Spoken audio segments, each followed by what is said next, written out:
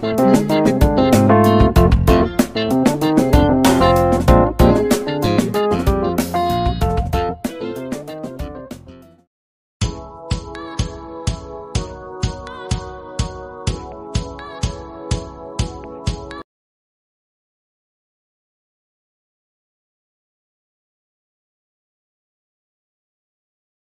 Havana kuina sarudzo havadiwi nevanhu. Hatibvunduki zanu pf inoziva citizens thank you very much. Kuya kwamaita in solidarity. Ijamisa oye! Maita basa organizer bhasha tichetakipa bhasha tinomira pamwe chete nemacitizens edu akasungwa. Bhasha zanu pf bhasha bhasha munangagwa bhasha isu struggle inooilwa nenyaya yesolidarity. Nekuti kana tazodecida to invoke section 59 musaprovhoka vanhu toshandisa the streets as a point of entry to the of the zimbabwean constitution. Saka zivai vanhu vezanu. Hello everyone.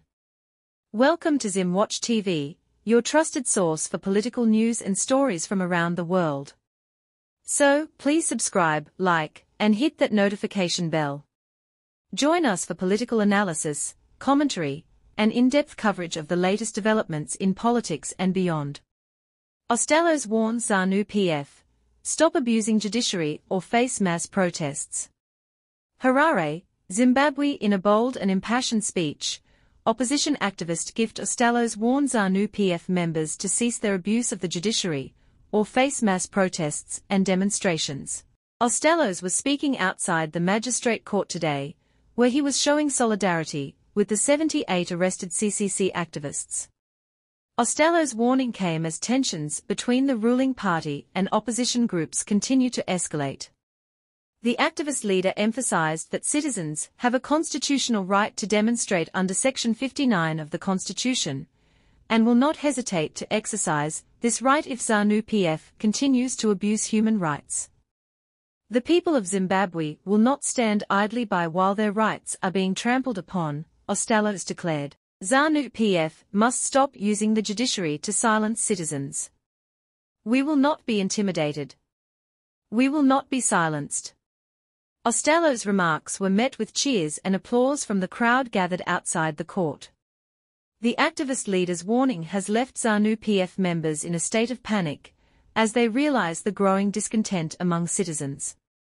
The 78 CCC activists were arrested last week. The arrests have sparked widespread outrage, with many calling for their immediate release. Ostallos' speech highlighted the growing frustration among citizens, who feel that ZANU-PF has stolen the 2023 elections, and is now using the judiciary to maintain their grip on power. ZANU-PF did not win the 2023 elections, Ostallos asserted. They stole the elections, and now they are using the judiciary to silence citizens. But we will not be silenced. We will continue to demand justice and freedom. As of press time, ZANU-PF had not yet responded to Ostallos' warning. However, sources within the party indicate that they are indeed concerned about the growing discontent among citizens, and are scrambling to find ways to contain the situation. The event has sparked fears of widespread protests and demonstrations, as citizens become increasingly frustrated with the government's handling of the economy and human rights abuses. In a statement, CCC spokesperson, Mr. Chibaya, praised Ostallos' courage and commitment to justice.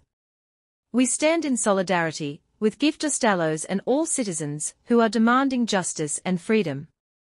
We will not be silenced. We will not be intimidated.